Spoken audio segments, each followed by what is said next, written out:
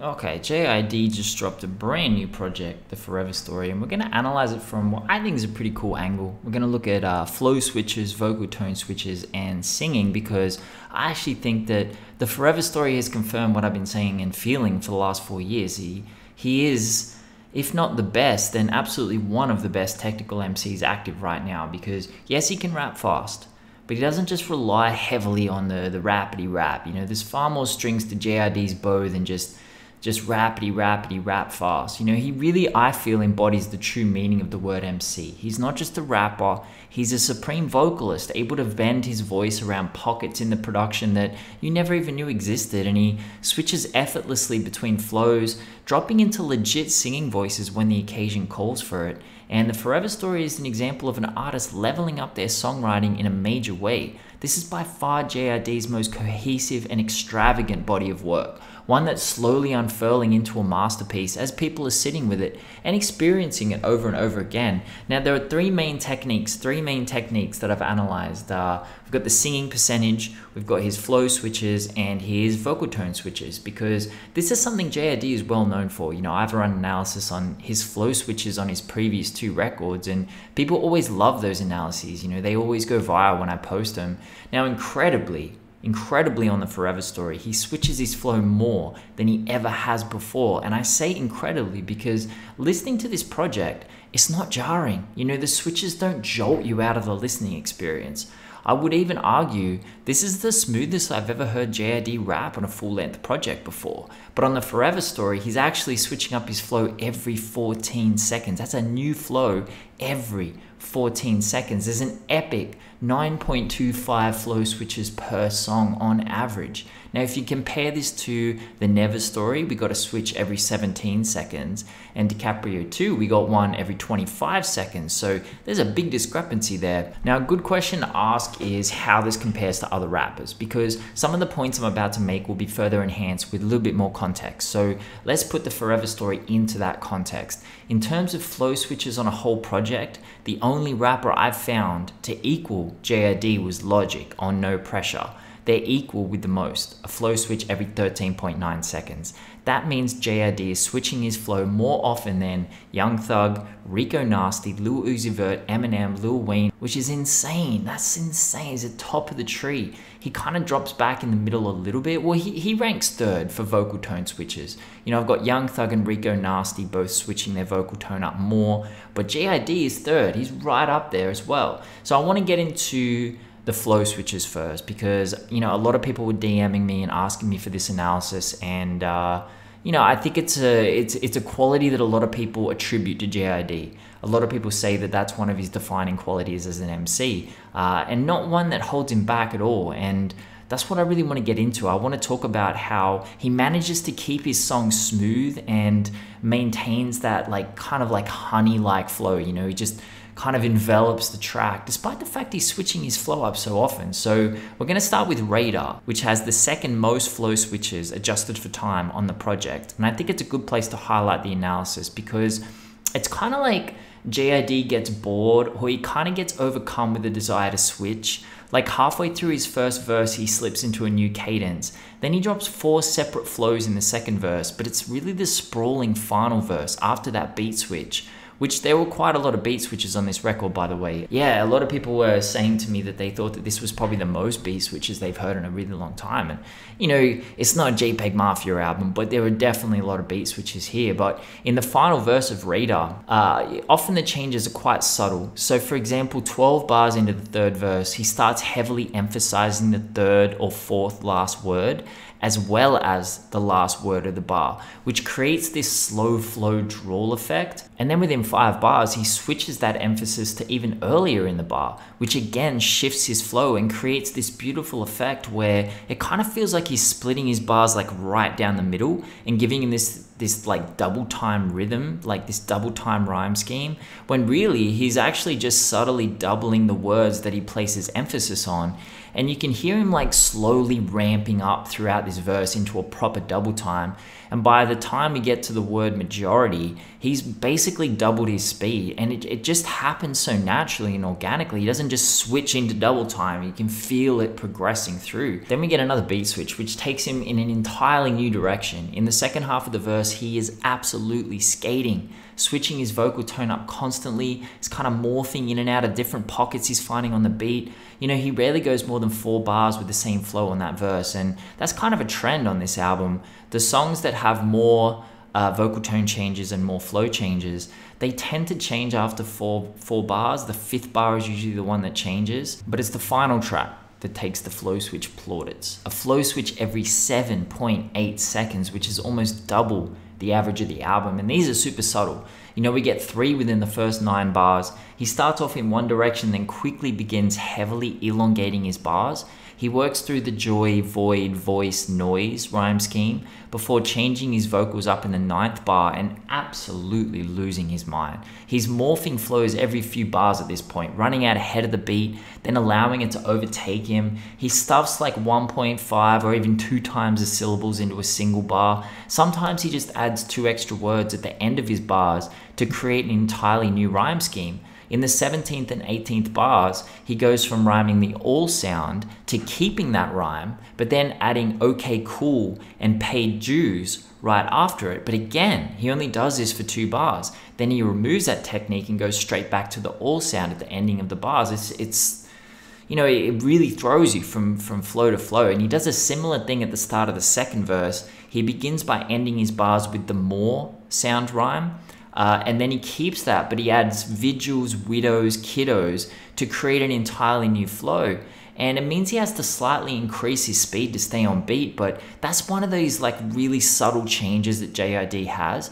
You know, I keep listening to these songs and looking at these changes and thinking it's got to sound disjointed or clunky at some point. You know, there are rappers who sound like they're like wrapping their arm out of a bear trap every time they're changing their flow. You know, it's messy, it's, it's shouty, it's obvious.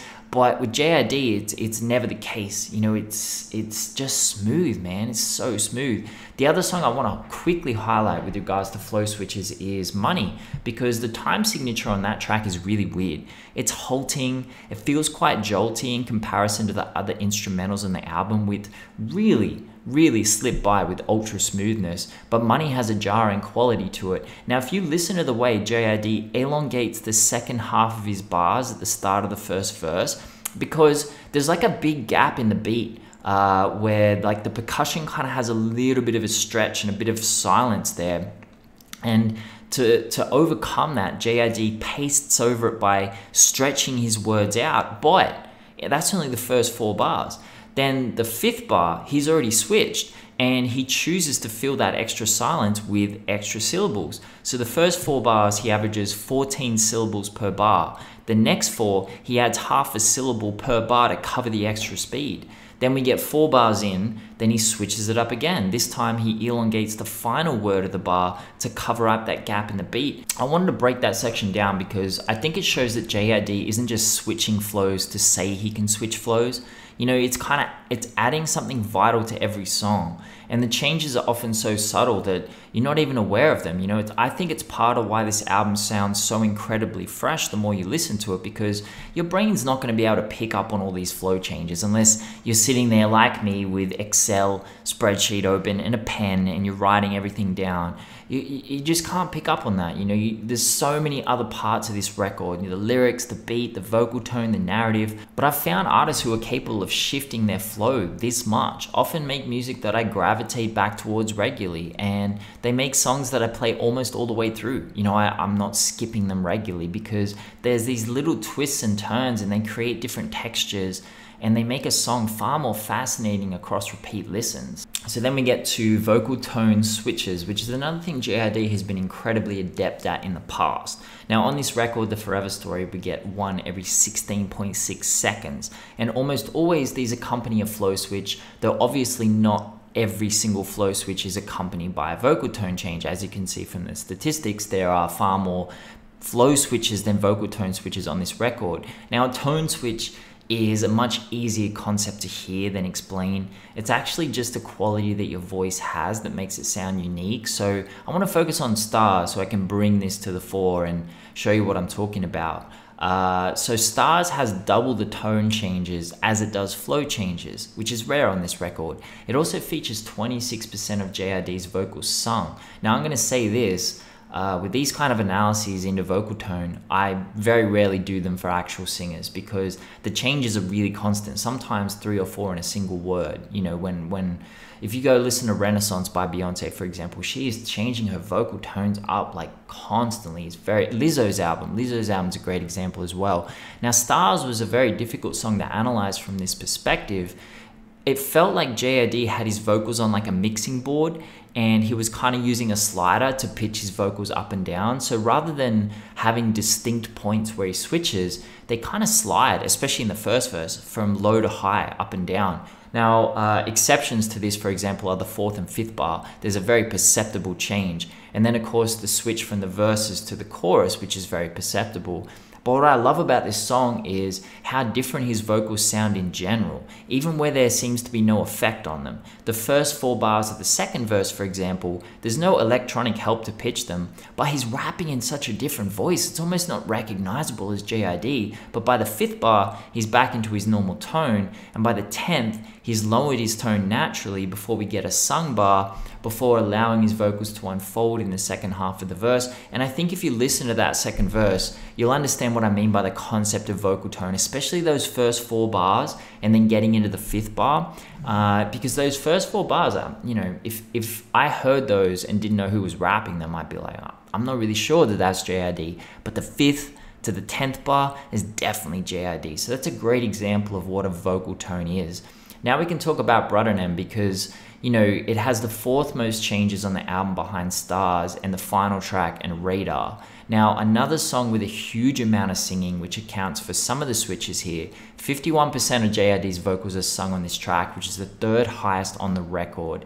And this is why I say JID's singing voice is actually incredibly adept because the vast majority of vocal tone changes happen during the post chorus. It's really actually not easily to switch so seamlessly as JID does on here because look, if you can't sing, you can't sing. I can't sing. My sister's an opera singer, so I grew up around uh, people who could sing. You know, I, I grew up understanding what singing was from a technical standpoint. I mean, she studied it. She went to university and studied being an opera singer.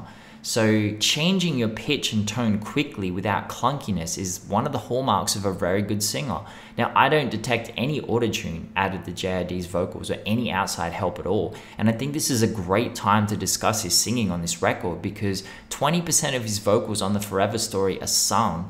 And it was actually around 2018 he started speaking a little bit more about the ability he has. During an interview in Brussels in 2018 entitled A Polaroid Story, he said he discovered he could sing when he was crooning along to Frank Ocean and the Arctic Monkeys. He was just a bit of a bet you look good on the dance floor. Don't know if you're looking for romance or. See, I can't, I can't sing. JID can sing, I, I can't sing.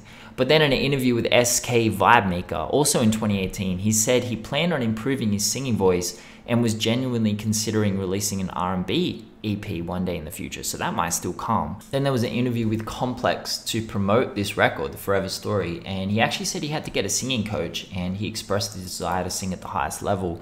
You can definitely feel how much he's already leveled up from the Never Story. You know, we get tracks like Hereditary and All Bad on that record, which aren't poorly sung, but on the Forever story, honestly, he has no issues vocally whatsoever. There's no cringy moments or clip vocals or off pitch sections. And I think this record, I, I wanted to highlight these things because to me, it's the supreme smoothness that's so impressive on here because I think JID has crafted something special. It just flows around you. And I would love to analyze the lyrical content if I have more time and give a proper review. But, you know, having listened to it 20 times, and sat with the lyrics and run through them, I, think this is by far his strongest offering. And I really hope it's a sign of things to come content wise. Because, you know, JID exploded into the stratosphere earlier this year with that Imagine Dragons collab, which actually sent his monthly Spotify listeners above J. Cole for the first time in their careers. And I'm certain that kind of exposure could tempt an artist to lean into that fully you know, to start making a music with an eye to popping up more on pop focus charts. And JID could easily do that. You know, he's beloved by the industry, and I'm sure it's well within his ability to craft a hot pop rap song. I mean, First Class by Jack Harlow went number one this year. Like, it's, it's not, it's clearly not that difficult, and JID is very, very adept.